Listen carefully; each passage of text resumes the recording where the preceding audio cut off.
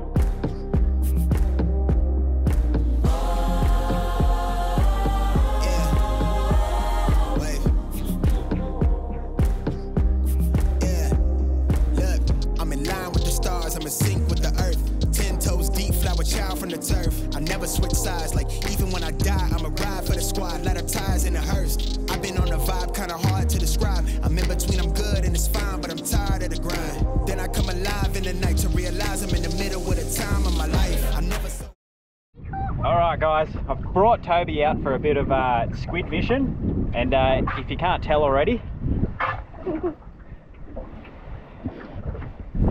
we got one in the back.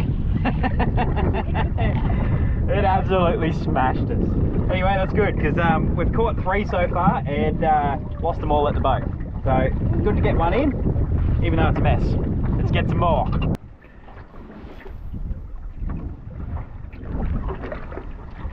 All right, things were going good. We got another squid, but then uh, it got a little bit wild. Not in the good way. Snapped the rod. oh, we got a snag, and it was well and truly stuck. I just kept reefing it after dropping the boat back up to it. Cheap rod. Oh, Toby's on. Nope. No. Yep. Yep.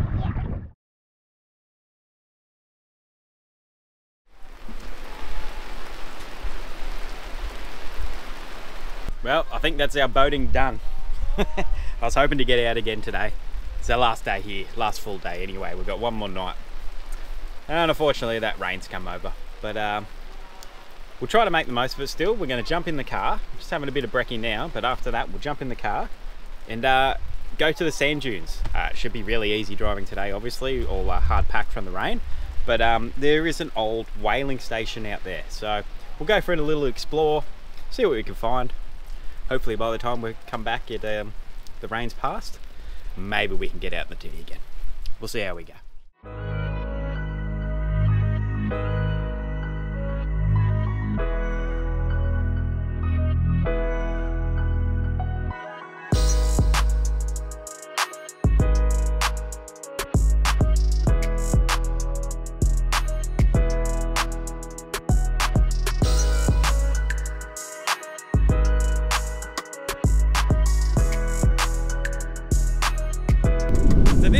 Remains of the whaling station. Not much of it left, but um, crazy that it's just here. I guess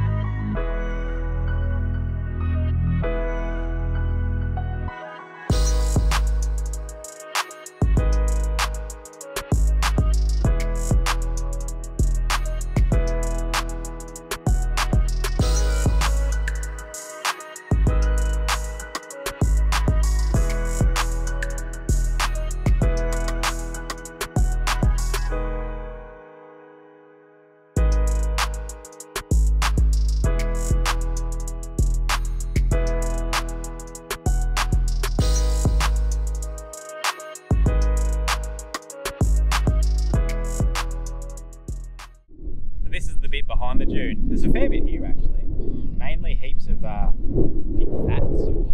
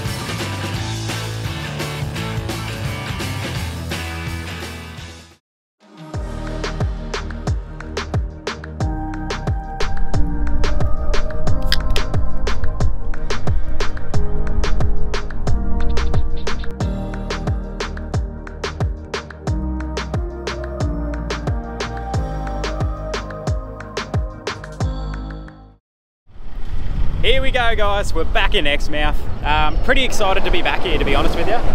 We didn't, well, like we said, we didn't stay in town last time. We um, stayed all around the national park and, and in uh, Yardie Homestead. So, really excited to be in town now. Check out a few of the beaches, a few of the other attractions that uh, Exmouth has, the off- has to offer, rather, and um, the breweries. So, we'll go back to Whalebone, and there's another brewery in town called Froth. So, really keen to check those out and uh, just get a few things done while we're here. Bit of a tidy up after being on the beach for so long, but um, yeah, excited. Let's get in there. So while we're in Exmouth, we're staying at RAC Caravan Park. I tell you what, it's a bloody good caravan park. It is. Big, flash, uh, Flat sides. all good amenities, but the hardest ground I've ever put pegs into. It took him probably like a good hour Incredible. to figure out how to get the pegs in there. Anyway, the best thing about this place is you get your own barista per site. they deliver you morning coffees. Nah, look, um, Chelsea's been making us coffees in the morning and it's been incredible. It's like, how's that for service? She drops them over in the morning for us and takes our cups at night. So thanks, Chelsea. yeah, thanks, Chelsea. Oh, and the kids got hot chockies for Oh, yeah, too. she's been bringing the kids hot chocolates. Hey, how have the hot chockies been? Yummy. Yeah. well, we spent the last two days catching up on schoolwork. Been absolutely bloody horrible. Ah. Ah, dear. So- Yeah, so bad. a little bit of a, a review on Euka. Euka's really good. It's a great system for homeschooling, Yes, but we are, we are really enjoying it at Yeah. the moment. Yeah. but you, you heavily rely on the internet. If you don't have internet, like we hadn't for the last two weeks, Mm. we pretty much couldn't do anything. Uh, we tried to screenshot lessons, but there's still videos they've got to watch and stuff like that. So, look, we smashed it out over the last couple of days. Um, haven't really done much because of that. So we earned we've earned a beer, haven't we? We have. So uh, best thing about Exmouth, everything is within walking distance, pretty much. So, or from the RAC that we're staying at, anyway. So we're going to walk down. We are walking down to Froth. Uh, we haven't been to this one yet, so pretty excited. I'm going to have a few beers, have a bit of a feed, Lunch. And uh, yeah. We've earned it and we got our tax back, so we've got money now. so watch us blow it all at all the breweries down Yep. the uh, west coast. As we do. anyway, we'll show you this joint when we get there.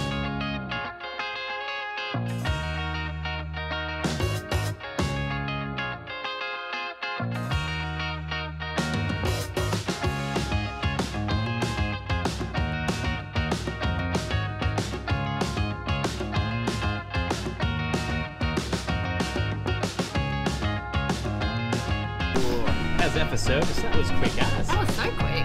And I've already snuck some calamari in. It's pretty good. Looks good. Tuck in.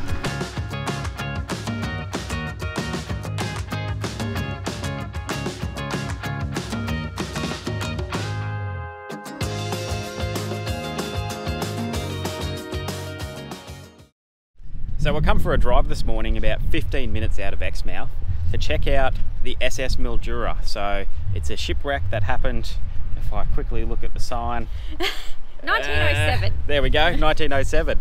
Uh, it's still quite of a lot of uh, quite a lot of it here, which is pretty incredible, really. Uh, apparently, at low tide you can walk out to it, but we've missed that by about an hour, so it must come in pretty quick here at the point. But uh, it's still pretty cool to look at.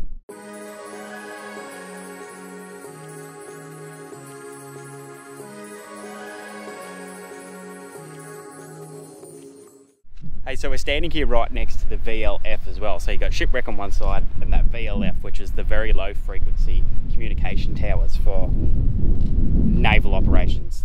I can't remember exactly what it is. but um, anyway, help us settle an argument here. It says that the Tower Zero, the middle one, is bigger than the Empire State Building, the Eiffel Tower, and the Sydney Tower, as in the Centre Point Tower. Now, Aaron reckons it is, but I think. I know, I think looking at it, it's been dismantled, and I don't think it's that tall. That's just my opinion. Someone let us know. Is it actually that tall? What does it say here? Tower Zero, 387 metres. I don't think it is anymore, but let us know in the comments. But it doesn't say anything about it being dismantled, so surely it would say like it was that and it's not now. I know, but it just doesn't look that tall. Maybe it's because it's not like building size, it doesn't look that ominous. I don't know. Anyway, settle this one for us before we get um, a divorce arguing over it. So while the weather's good, the winds dropped right off for the first time in what feels like a really long time. Three weeks, I reckon. Um, we've decided to come down to Town Beach, so we're meeting our friends Bryce and Chelsea down here. We're gonna have a bit of a swim before we head to the pub this afternoon. It looks bloody beautiful. Mm, it And does look amazing. It's a hard beach. You don't have to worry about tyres or anything. Yeah, so you can full just drive down here and park up for the day and yeah, chill out. So that's what we'll be doing.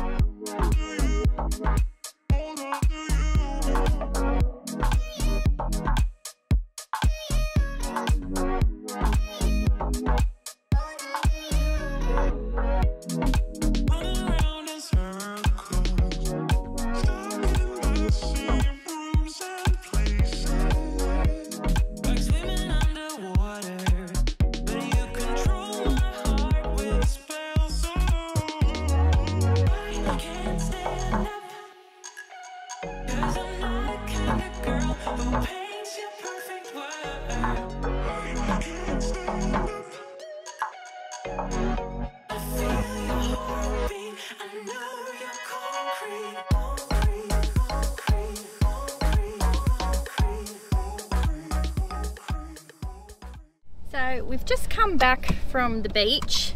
We've got some visitors on our campsite. About to walk past. Hello, mate. G'day, buddy.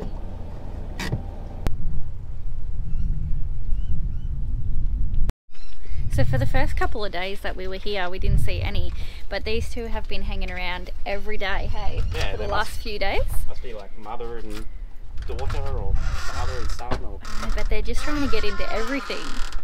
Oh, the dog. They're eyeing off some dogs at the minute.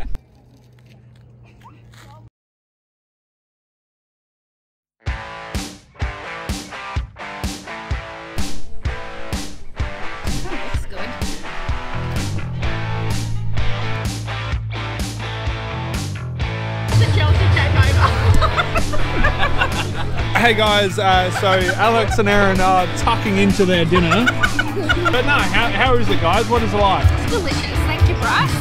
I love your interview skills. right, so update on the bash plate on the car. Um, I rang up Ford, had to book it in for a service anyway, but the closest Ford to us is Geraldton. I nearly forgot where it was. I nearly said Carnarvon, but yeah, Gero. So it's quite a while until we get there. Well, I say quite a while, a few weeks at least. So um, they've got to look at it before they even know if it's warranty. And then we have to go from there. So no doubt we'll be out of Geraldton by the time they figure out what they can do. And we'll have to get it sorted in Perth. So for now, I just went to the Mitre 10 here in Exmouth, got some uh, little bit of flat bar, and I just screwed them in with some tech screws just to strengthen it back up because it's just it's crashing around, isn't it, babe? So noisy. Oh, okay. Especially on the roads around uh, Ningaloo and all the dirt roads. Like, you hear us coming from a mile away. it's so embarrassing. So, I've done that. Hopefully, that stops the rattling for now. And uh, yeah, hopefully, we get it sorted out. Hey, so I've brought the kids out to have a little look around town. And I tell you what, Exmouth is set up well. Got heaps of stuff for families, kids in particular. You've got the parks, you got this asphalt pump track, you got the dirt pump track next to it, you've got playgrounds, skate parks. I probably already said playgrounds, I think. Anyway, this joint's cool. It's set up really well.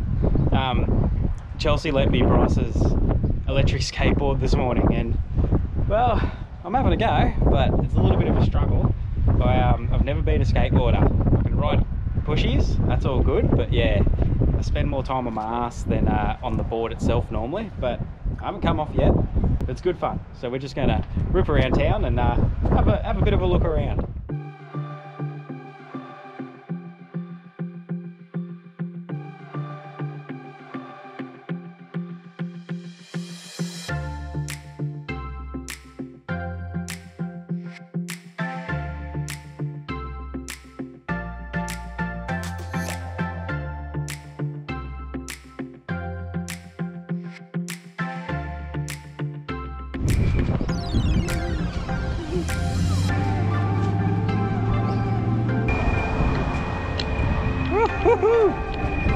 These things are sick. Oh, getting the wobbles up though.